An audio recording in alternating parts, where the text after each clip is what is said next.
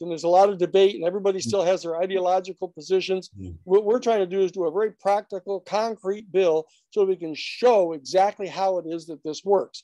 You know, and, and that's that's going to be the model for the federal program once we get it operational here.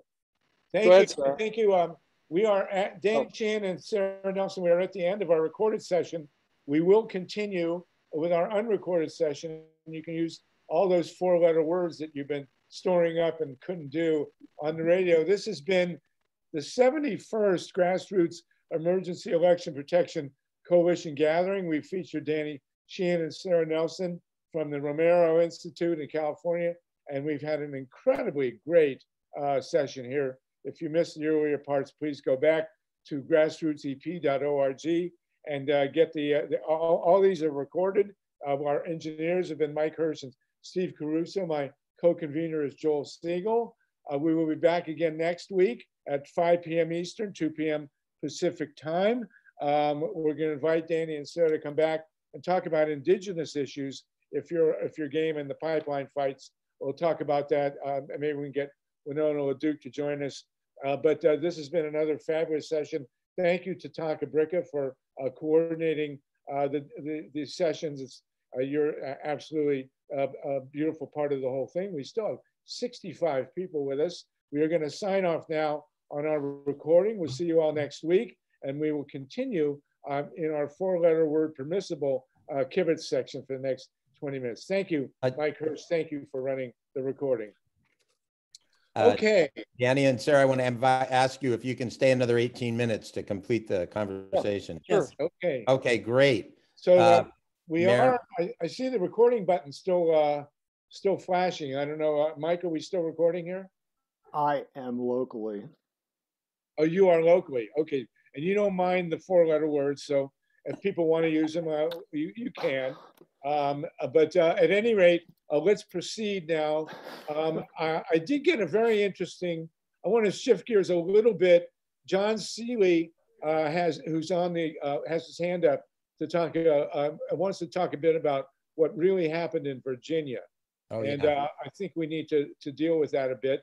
Uh, go ahead, John Seeley, if you're, um, you, you want to, you're not on camera, but you are on mic. So go ahead. Oh, I'll go on camera. Uh, it's a great shot of your head. okay, go ahead. You see some of me. Uh, 538 reported, you know, county by county on the Virginia race. Now, I don't quibble with anything anybody said about McAuliffe's centrist, uh, lame posture, nor, you know, the failures of his campaign. But it, what, you know, the data shows, of course, is that Republican gains were very uneven. And where they happen is in the highest income districts you know, which I take to mean people are reverting to their traditional patterns. The Lincoln Project is no longer operative, you know, uh, focusing on, uh, you know, moderate, civil, civil-minded Republicans. And what happened was, you know, in the counties like Loudoun County outside Washington, which is one of the one, you know, one of the one percent territories. And in Chesterfield County, where the richest people around Richmond live, there was like 8% swing to the Republicans or 9% swing. And, you know, this is because, you know, Democrats are now thinking that their base is the, the well educated, smart people. Whereas there was a slight shift toward the Democrats from 2020 in some of the poorer mining counties that are traditionally, well, that have a history of being, you know, uh, democratic or late, you know, work okay. people oriented. So we need just not to not depend on liberal Republicans if we're going to win elections. We have to go back to our roots right. and try and find well, some Democrats the, the argument. Here's the argument that I want to make for Virginia. And Rebecca Landau, who's a great organizer, has pointed out that the Republicans in Virginia paid their canvassers. Um, and the Democrats did not. So who's the party of the working class here? I mean, and also, yeah. I have not seen a single um, one of these. Trying to take a dig on me.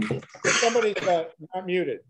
Uh, some, no, none of the pundits have pointed out that the Democrats have completely ignored the millennial and Zoomer um, uh, generations.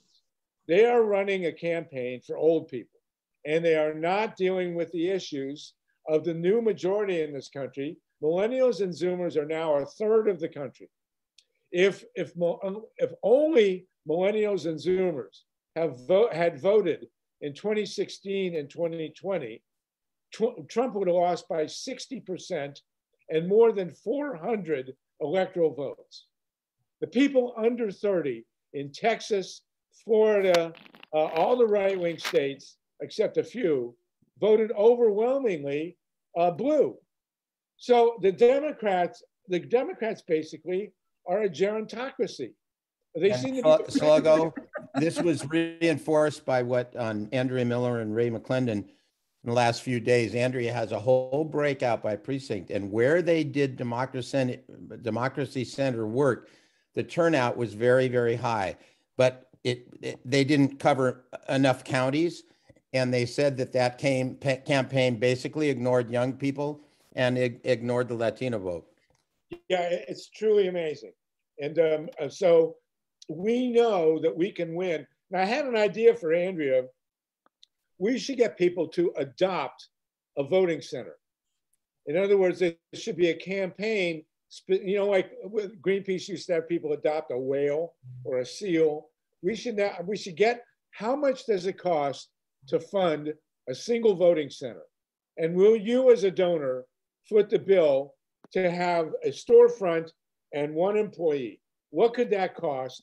and can we, you know, get a little a little patch and a little thing, a bumper sticker? Uh, I adopted the Fairfax County Voting Center. Something I like, like it. That. That's like a great it. idea. We could do that in California too. okay, maybe, we got four more questions. Uh, we Mary? have to make we have to make the voting center look like a, a fluffy seal. yeah. a polar bear. a polar bear, right? Yeah. Uh, okay, Mary, and then Steve. Mary. Yeah. Um, this is a comment for um, Sara, Danny, John, okay. and uh, Marina. Um, I must. I'm. I'm. I'm pushing this because it's so important to the climate change. Uh, everybody's going off of big oil. Good. Everybody's going off their nuclear. Good.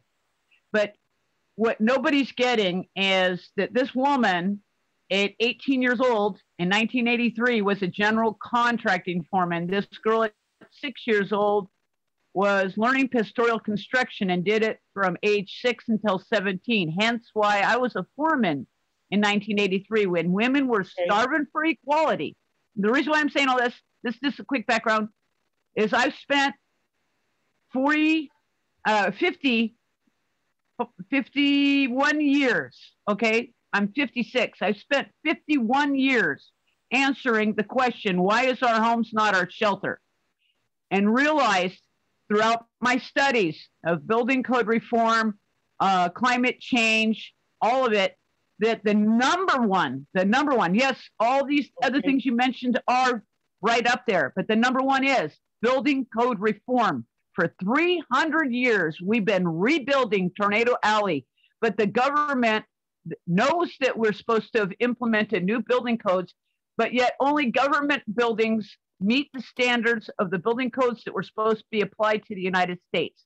That in okay. 1700, the United States recognized that square buildings were more hazardous, and the way that we built was more hazardous to our citizens, and they were okay. going to pass these laws to change it. In order for us to get rid of the climate change, we need to get rid of the cookie cutter mentality of build up, board up, tear down, rebuild. I have a thing called a saddleback foundation system, and I guarantee you a 7.9 earthquake, you would not lose your home. Okay? Okay. And nobody's good. willing to listen, but I've written new building codes that are the inherent constitutional building codes and the subcodes that are called the natural disaster environmental history codes. Mary, we, we got, thank you, Mary. We got to move on. Put the link in the chat I, so that everybody can get it. We appreciate I, I just want to, I just want to say she's on to something and everybody's yeah. dealt with building, building codes and every county of the country knows it. So going on, Steve. Steve Caruso, Steve. Uh, no, Steve Hoffman, Steve Hoffman. Thank you. Thank you very much. I, will only take a minute. Uh, for the last couple of weeks, our organization has been uh, very concerned about the Freedom to Vote Act. And since the summer, they've added a couple of clauses which allow voting uh, machine vendors to continue their connection to the internet, wireless, or through modem all the way up until 2030. They've been kicking the can down the road since 2006. These clauses appeared since August. I don't know exactly how they got there. I just want to alert everyone's attention to uh, the fact that keeping voting systems connected to the internet is not such a good idea. And so um, we're, we're trying to add more language or take this language out of the Freedom to Vote Act. Uh, we've been speaking with a, a couple of the authors, and I just wanted to let everybody know that that is the work in progress that the voting machine vendors are trying to keep their access to the internet until 2030. Well, As we, most of you know, access to the internet will allow votes to be changed without anybody knowing anything right under the covers. We, we, and, uh, we are going to deal next week again in greater detail. Uh, Danny Sari or, and Sari are invited back. We want to deal with two things. We want to deal with the indigenous and the pipeline issues, and we also want to deal especially with the John Wusak, thank you. For, thank, for thank you, Steve. Before um, I see Jeffrey and Justin, but you've been, had at least one shot, so I'm going to have Mike Fox up, and then we'll go back and get you. Michael. Michael, thank you, thank you so much. Just a reminder, gang. Normally, this call breaks by 15 before the hour, and we've literally got this booked at seven o'clock. So if we can wrap, it'd be absolutely beautiful. We will be off by seven. Absolutely, we've got eight. Thank seven, you. We'll go seven more minutes and give him a minute of leeway here. Uh, yeah, I appreciate that. Okay. Uh, um, uh, uh, Justin? Uh, go, else go ahead, Jeffrey. I'll, I'll let Jeffrey go first. Jeffrey, quickly, and then Justin. Sara, Sara, Danny, I wanted to, I wanted to show that I'm, I, I, I want to even prove that I'm not to just um just want to want to you know, want to be, you know, like a okay. random person that, that just said, I'll talk. In fact, I, in fact, I even came up with an idea for an inter, for an anti-nuclear day called International Radiation Awareness Day. And I'm thinking, thinking about making it on the day, on the day that uh, Hushi, Hushi Ochio, the day that the, the most radioactive man in history uh, died. Okay. I think I think it'd be best doing it as an honor. What do you What do you guys think? What do you guys What do you two think? Thank you, Jeffrey. I Thank you, something to contemplate. We'll talk about it. Justin, Good idea. Gonna, Justin, and we're going to sign off. Okay, you're up, Justin. All right, so uh, try to wrap these things up. A couple of pieces that weren't mentioned in our discussion earlier uh, about the labor unions. Uh, one of the central pieces in California that is a uh, powerhouse is the uh, Building Trades Commission. And one of the things I found out from discussing with uh, the, that IBEW, uh, is that a lot of these union members they basically get their marching orders from the companies themselves that they will tell the labor uh, they will tell their union bosses and the la- uh, union bosses will tell the laborers this is uh, what you need to be afraid of and basically that's why they're afraid of us it's not because they don't want these sorts of things in fact i learned from their uh, uh, people who are one of their trainers that the students going through their schools love our ideas. They're all on board for climate change. So it's really uh, trickled down from the companies that sell that is the problem here. Uh, so the next thing to address is emissions and conservation. Uh, Mary talked about building codes. And if we're able to change uh, such that we actually uh, have uh, more in harmony with nature building codes, we can reduce the number of power plants that we need, which will reduce emissions in addition to reduce the cost of any Green New Deal that we need. So I uh, just wanted to put those two things out there. Thank also, you. California, California law now that all new homes are, are, required to have solar features of some kind. Isn't that right, uh, Sara and Danny? Uh, um, isn't that now in the, in the law in California? Uh, yes, there, there Um, I can't answer that as, as effectively as Ben Iker could, but uh, yes, there. I believe that's it is- true for new it is. construction. Well, It's supposed to be renewable. You know, so I don't know that it's supposed to be solar itself.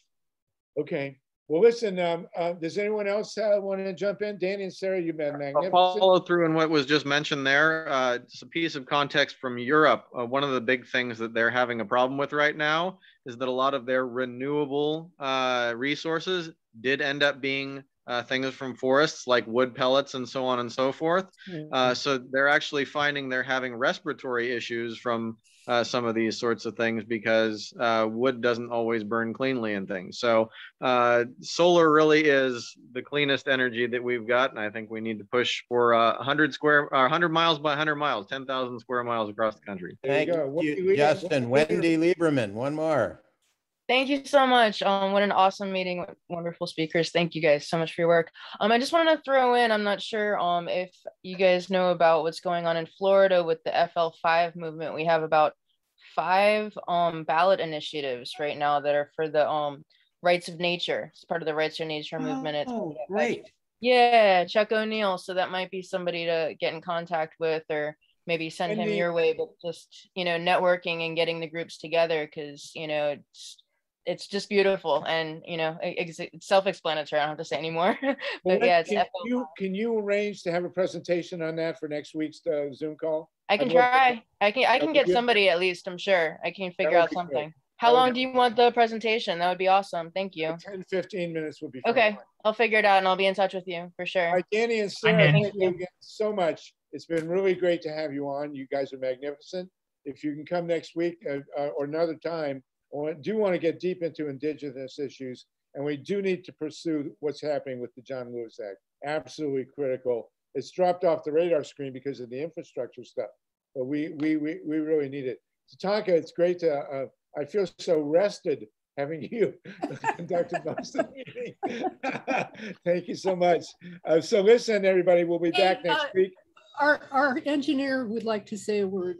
Steve, uh, Steve, I didn't see your hand. Yeah, they uh, in Europe they're looking at. I think it was Europe or Africa or somewhere. Their companies are burning plastic now as a Oh fuel God, source. yeah, we got we So- went through that. You cannot burn plastic. Fu- Furans and um, but everybody should see, and I'll end with this. There's a phenomenal movie everybody needs to see called Fantastic Fungi. It's about mushrooms, and they are we are finding mushrooms now that will actually eat plastic. So let's look into that. Just one uh, quick sluggo, the guy who they feature in that, I met at uh, Social Venture Network when I was organizing with Ben and Jerry's. We may be able to get him on the show if I can Oh, I'd find love out. to have him on. is. Stamets is his name. He's actually from Ohio. Uh. So uh, uh, what, what do you know about that? Cool. All right, everybody. Uh, this has been a phenomenal meeting. As always, we still have 51 people with us. I, I hate to shut down a meeting with 51 people, but uh, we'll, come, we'll convene again next week. Uh, Mike Fox, it, it's all yours. Thank you, everybody. Thank you, Thank guys. you, Sluggo. Thank you, Terrific. Thank you, Sara. Thank you, Danny. Thank you, Thanks, Sara. everyone. And Stephen, Stephen, this room has to shut down so I can open another one on this same account. All right, So please shut goodbye. it. See Thank guys. you.